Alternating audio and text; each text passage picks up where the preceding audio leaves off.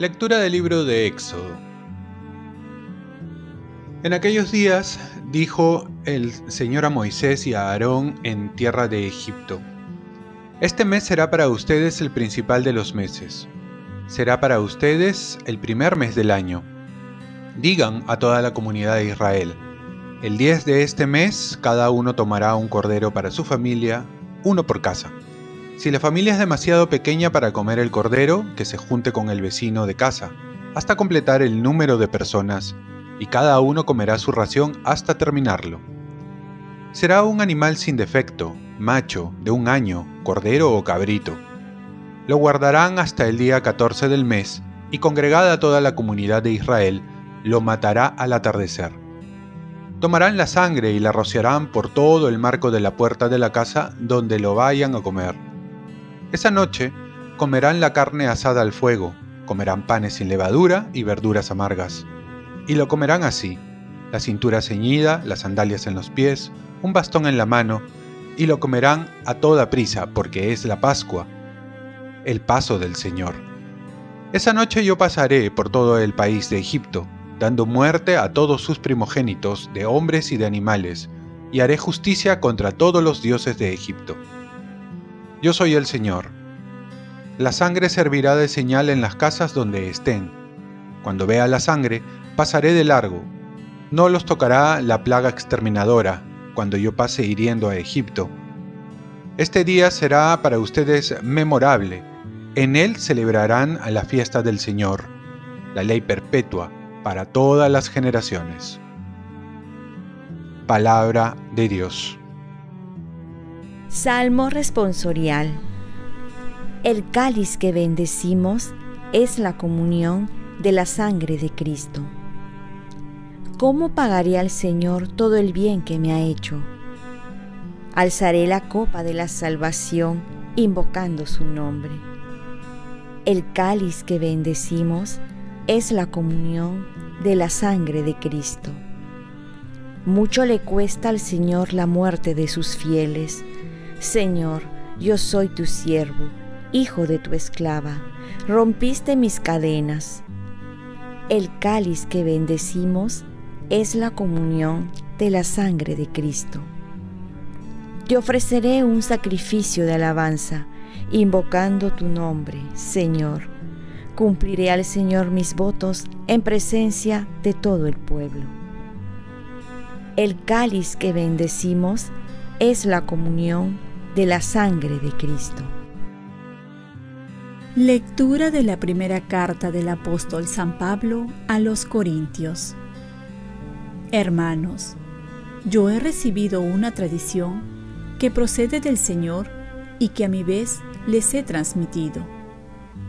Que el Señor Jesús, en la noche en que iban a entregarlo, tomó pan y pronunciando la acción de gracias, lo partió y dijo, Esto es mi cuerpo, que se entrega por ustedes. Hagan esto en conmemoración mía.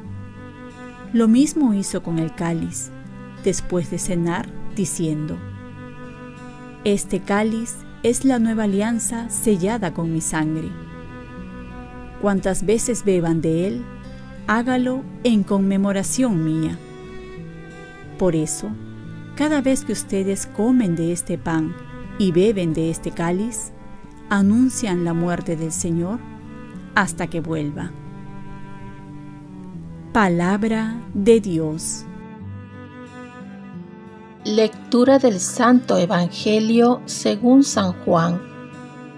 Antes de la fiesta de la Pascua, sabiendo Jesús que había llegado la hora de pasar de este mundo al Padre, habiendo amado a los suyos que estaban en el mundo, los amó hasta el extremo. Estaban cenando cuando el diablo ya había metido en el corazón de Judas Iscariote, hijo de Simón, la idea de entregar a Jesús. Jesús, sabiendo que el Padre había puesto todo en sus manos, que venía de Dios y a Dios volvía, se levanta de la mesa, se quita el manto y, tomando una toalla, se la ciñe Luego echa agua en una jofaina y se pone a lavarles los pies a los discípulos, secándoselos con la toalla que se había ceñido. Llegó a Simón Pedro y éste le dijo, Señor, ¿lavarme los pies tú a mí? Jesús le replicó, Lo que yo hago tú no lo entiendes ahora, pero lo comprenderás más tarde. Pedro le dijo, No me lavarás los pies jamás. Jesús le contestó, Si no te lavo, no tendrás parte conmigo. Simón Pedro le dijo, Señor, no solo los pies, sino también las manos y la cabeza.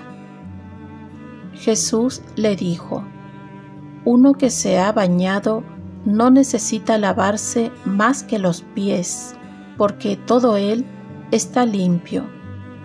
También ustedes están limpios, aunque no todos, porque sabía quién lo iba a entregar, por eso dijo, no todos están limpios.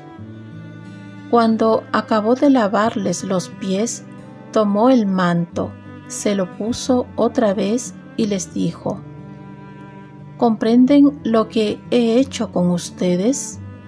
Ustedes me llaman el Maestro y el Señor, y dicen bien, porque lo soy.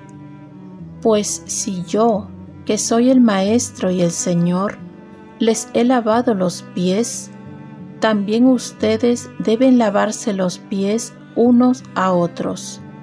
Les he dado ejemplo para que lo que hice con ustedes, ustedes también lo hagan. Palabra del Señor. Paz y bien. Jesús no solo murió por nosotros, sino que se quedó en la Eucaristía por nosotros. El Evangelio comienza con una frase que bastaría para meditar todo el día, y es que dice que Jesús nos amó hasta el extremo, hasta donde nadie más puede amar, el amor ilimitado. En otras palabras, todo su amor lo entregó. Una cosa es dar algo y otra es darse a sí mismo. Este último vale mucho más y es el caso de Jesús. Hoy recordamos que nos regaló a los sacerdotes, que son hombres que han dejado todo y quieren ser como Jesús y son servidores de Jesús en la iglesia para poder traer a Jesús sacramentado. También nos amó enseñándonos a amar. Nos dejó el camino de la felicidad. No tenemos que buscar otro camino. Él mismo se puso como ejemplo, lavando los pies a sus discípulos. Nos enseñó a amar, esto es, a servir, que significa buscar el bien del otro. El que ama sirve y el que no ama no sirve. Pero el regalo más grande es el mismo. Por ello se nos regaló y se nos dio en cuerpo, alma, sangre y divinidad en la Santa Eucaristía. Ahí está el mismo, ayer, hoy y siempre, el mismo Jesús. El quedarse con alguien es una manifestación patente de amor, a pesar que lo ignoremos que no lo visitemos en los agrarios, Él sigue ahí humildemente bajo la forma de pan. Él, el dueño de todo cuanto existe, se quedó por ti para alimentarnos, unirnos a Él y darnos la fuerza para amar.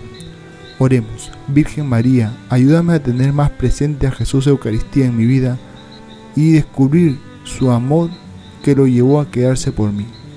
Ofrezcamos nuestro día.